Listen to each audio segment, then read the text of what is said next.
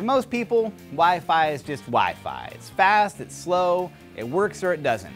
But to the discerning connoisseur of 802.11 wireless local area networks, there's a whole alphabet of Wi-Fi flavors. You get your A, B, G, N, and the most recent addition, AC.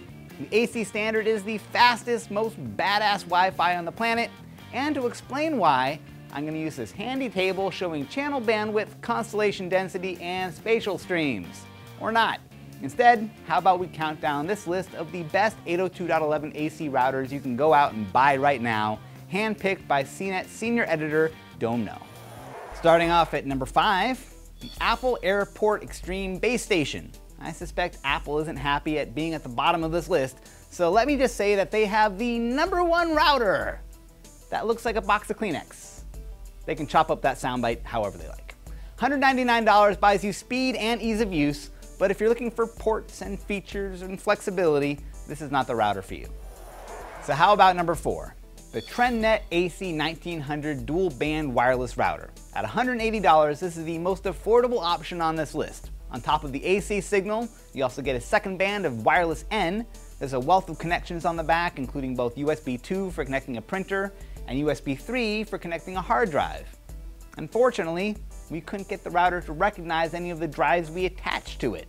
But if network storage isn't a big deal for you, this is the best bargain out there. At number three, the Linksys WRT 1900AC wireless router.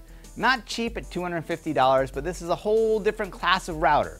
Outstanding range, a great list of features, plenty of customization options, and unlike the TrendNet, this thing kills it on network storage.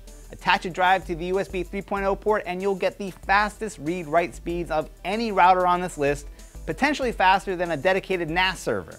It also has a retro router look thing going on, which I didn't know was a thing until now. It's kind of cool. Coming in at number two, the Netgear Nighthawk AC1900 Smart Wi-Fi Router. This one answers the question, which router would Batman buy?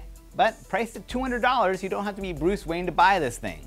It's fast, it has all the features you'd want, it's even time capsule compatible, making it a great alternative to the base station for Mac users. The only trouble is, this thing is gigantic. They designed it to look like a stealth bomber so that you wouldn't notice its girth. But I see you, Nighthawk. Chunky router.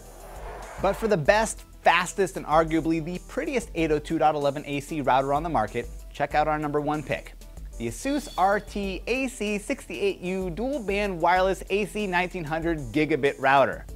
Not the catchiest name, and arguably the advanced features here are far beyond what most people are looking for. But if you're looking for fast, the ASUS delivered that by a significant margin.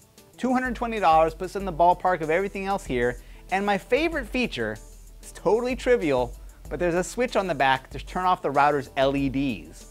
For some reason, the router in my home is like the brightest light in my house. I shouldn't have to put duct tape over my router just to get some sleep.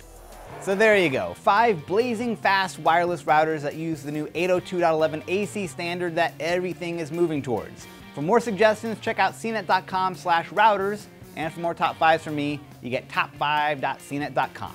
I'm Donald Bell, thanks for watching.